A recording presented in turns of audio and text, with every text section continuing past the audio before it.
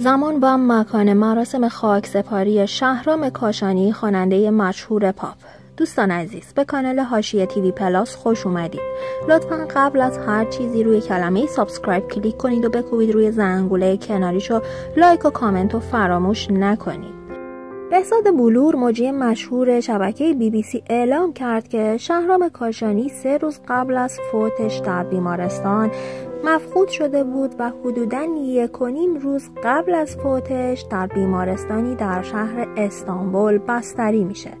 شهرام کاشانی به دلیل وضعیت نامساعدی که داشت متاسفانه به کما میره و در نهایت ناباوری بعد از یک و نیم روز بستری شدن در بیمارستان دار فانی رو ودا گفت. گفته شده شهرام کاشانی حدود سه روز بعد از مفقود شدنش به دلیل زیاده روی در نوشیدن مشروبات الکلی به بیمارستانی منتقل میشه و پس از اون به خاطر نیاز به امکانات بیشتر به بیمارستان مجهز و گرون قیمت آجیبادام در استانبول فرستاده میشه. گفته شده شهرام کاشانی ممکنه در بیمارستان مبتلا به این ویروس شده باشه یا از قبل هم مبتلا بوده و خودش نمی‌دونسته. شهرام کاشانی از قبل هم مبتلا به بیماری کلیوی و ریوی بوده و متاسفانه بعد از سه روز مفقودی و به دلیل مصرف بیش از حد نوشیدنی های الکلی و مبتلا بودن به این ویروس در نهایت ناباوری کلیه ها و ریش از کار میفته و متاسفانه رأس ساعت 6 عصر روز چهارشنبه جان خودش رو از دست میده. شهرام کاشانی در یکی از مصاحبه هاش اعلام کرده بود که آرزوش مرگه و دوست داره بمیره. شهرام در دوران قرنطینه همراه با مادرش به شهر ساحلی بودروم نقل مکان کرده بود و نزدیک به عید به استانبول رفته بود. شهرام کاشانی در دوران قرنطینه در پیج اینستاگرامش بسیار فعالیت می‌کرد و با انتشار لایو و ویدیوهای کوتاه سعی می‌کرد با هوادارانش بیشتر در ارتباط باشه و با انتشار یک ویدیوی گفته بود دوستان و طرفداران عزیزم می‌خوام بدونید که درد آدم رو قوی می‌کنه. عاشق شدنامون شکست های عشقیمون درسته می‌تونه برامون درد آور باشه ولی می‌تونه به همون درس بزرگی بده و می‌تونه ما رو قدرتمند بکنه. همچنین شهرام کاشانی در ادامه گفته بود دوستان عزیز به خاطر گذشتتون ناراحت نباشید بلکه سعی کنید از گذشتتون درس عبرت بگیرید و برای آیندهتون درسی بشه و بتونه راهنمای خوبی برای موفقیت های بزرگتون در آینده بشه اما شهرام کاشانی در دوران قرنطینه در یکی از ویدیوهاش گفته بود دوستان عزیز می‌دونم توی این شرایط هممون لحظه های خیلی سختی رو داریم تجربه می‌کنیم. این بیماری متاسفانه جون همه آدما رو به خطر انداخت و متاسفانه خیلی از فامیلای طرف مادریم هم مبتلا به این بیماری شدن و در منزل دارن استراحت می‌کنن تا مداوا بشن. متاسفانه خیلی بیماری بعدی هستش. مراقب سلامتیتون باشید. تا می‌تونید ورزش کنید فعالیت بکنید. اگر کسب و کاری دارید که تو منزل می‌تونید انجام بدید کاراتون رو به خوبی در آرامش انجام بدید و استرس نداشته باشید. منم برای سال 2021 یه برنامه هایی دارم که بتونم کارهای جدیدی رو برای شما عزیزان منتشر کنم. الان مثل زمان قدیم دارم با حوصله و تمرکز آهنگام انتخاب می‌کنم و تدارک کارهای جدیدم رو می‌کنم. تا شما دوستای عزیزم رو خوشحال کنم و براتون آهنگای جدیدی رو منتشر کنم.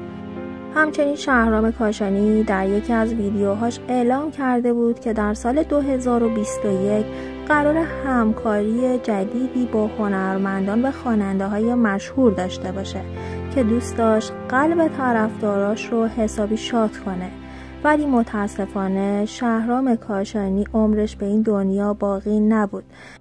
اما جالبه بدونید که شهرام کاشانی زمانی هم که در قید حیات بود بسیاری از ترانه هایی که اجرا کرده بود هنوز منتشر نشده بود.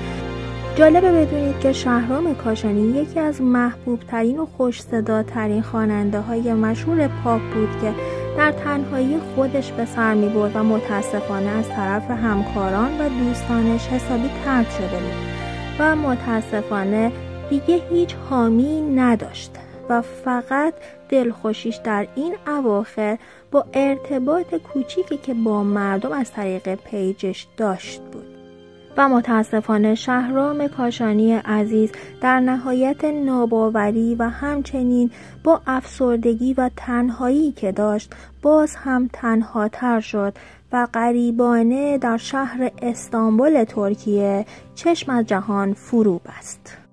اما زمان و مکان مراسم تدفین و زنده یاد شهرام کاشانی عزیز به گفته نزدیکان شهرام کاشانی گفته شده بیمارستان ترکیه قصد داره بدن شهرام کاشانی رو به سفارت آمریکا در استانبول تحویل بده و در روزهای آینده مشخص خواهد شد که تدفین در آمریکا انجام خواهد شد یا در ترکیه.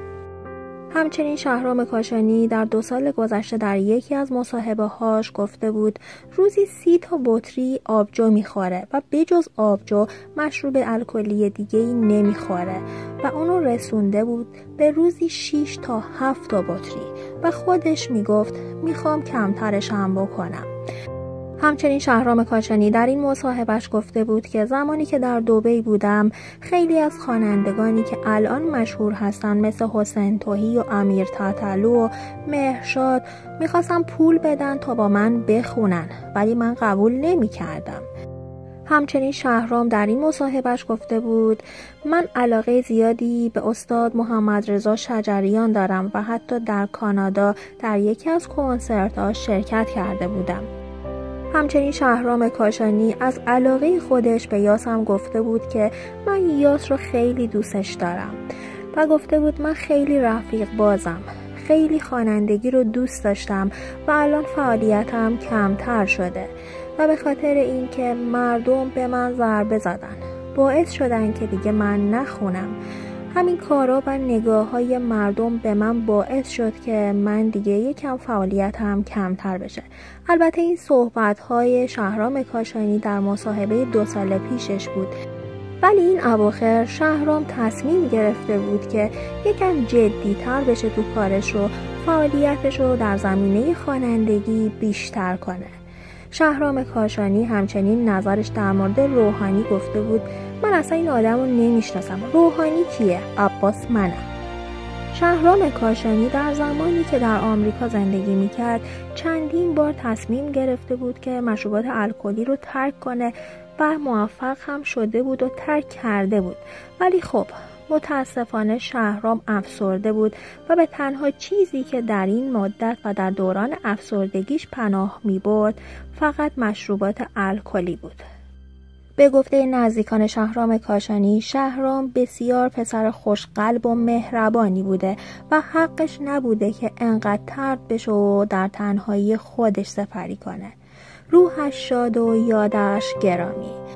دوستان عزیز اگر ویدیوی ما رو دوست داشتید و منتظر خبرهای جدیدی از مراسم تدفین زنده یاد شهرام کاشانی عزیز هستید لطفا اسم کانال حاشیه TV Plus کانال ما رو در یوتیوب سرچ کنید و لینک ویدیوی ما رو در فیسبوک و سایر شبکه های اجتماعی در گروه های فارسی زبانان و گروه های ایرانیان مقیم کشورهای مختلف لطفا share کنید و برامون راجع به آقای شهرام کاشانی عزیز کامنت بذارید و like و فراموش نکنید و در نهایت subscribe کنید.